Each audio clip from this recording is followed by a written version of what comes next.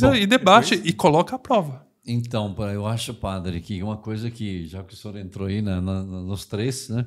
Uma que houve muita disputa foi a questão toda da Imaculada Conceição, né? Sem dúvida é nenhuma. É verdade.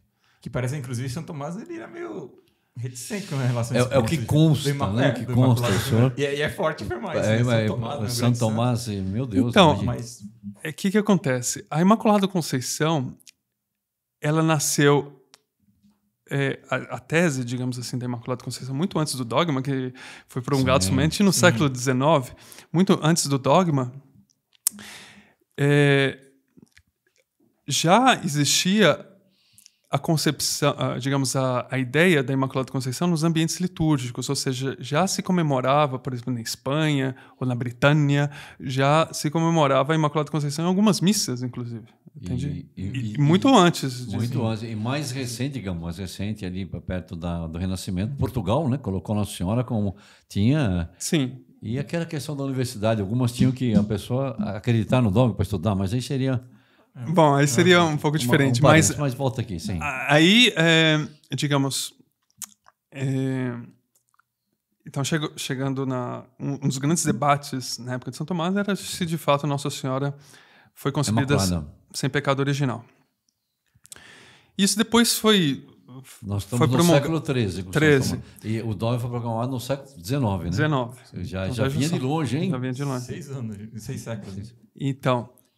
E de fato muitos dizem, bom, é, São Tomás de Aquino e tal, mas veja só, né? Ele não, logo ele, logo ele, logo não, ele. não, acreditava na Imaculada Conceição, onde já se viu. Bom, assim, é necessário. Ele tinha suas razões, certamente. Ele, então, como ele era muito. Aí diz aqui, exatamente. Tem que ter uma precisão aí que talvez não conheçamos, é, não? Então, é bom analisar. Como se diz em latim, es modus in rebus. Existe um certo é. equilíbrio nas coisas. É, São Tomás, ele se pergunta: Nossa Senhora foi santificada no ventre materno de sua mãe? né? claro, materno de sua mãe. Aí ele responde, sim, afirmativamente.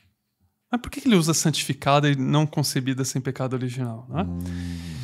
Por quê? Porque na, naquela época, por uma ideia obsoleta é, acerca da concepção, que vinha desde Aristóteles, que a alma somente era infundida aproximadamente depois de 40 dias depois da concepção.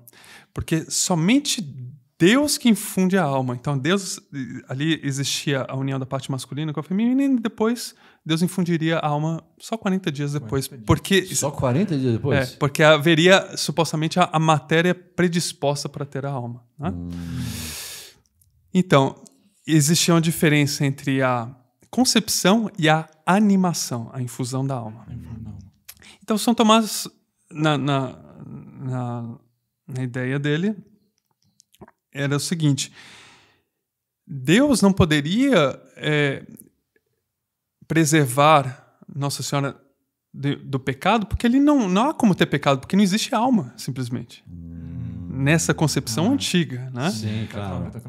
Depois a, igreja defendeu Sim. que já do primeiro instante da concepção, porque ali está Deus todo está contido todo o, o código genético, já está um, totalmente perfeito e ali já já é infundida.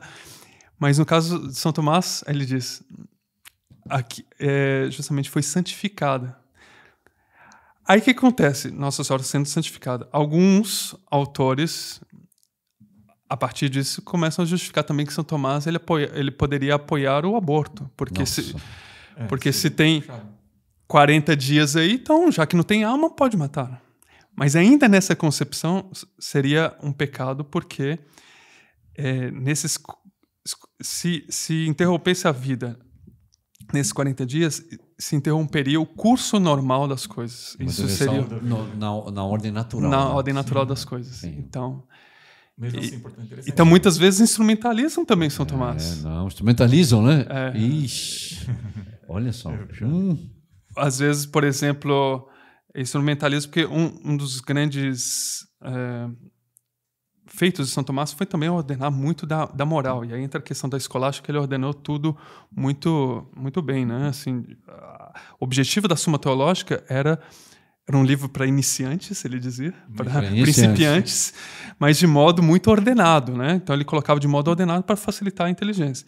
Então na parte da moral lá, da seg- segunda parte, né? Ele trata sobre o roubo famélico também. Sim, roubo. Roubo- Padre, nós chegamos ao final da nossa primeira parte, paramos aqui Essa nessa. parte do roubo aqui é É, isso interessante. é muito interessante. E vamos então ao nosso intervalo e, e voltamos daqui a pouquinho com tendo a alegria de termos aqui o Padre Felipe conosco. Até daqui a instantes. Salve Maria.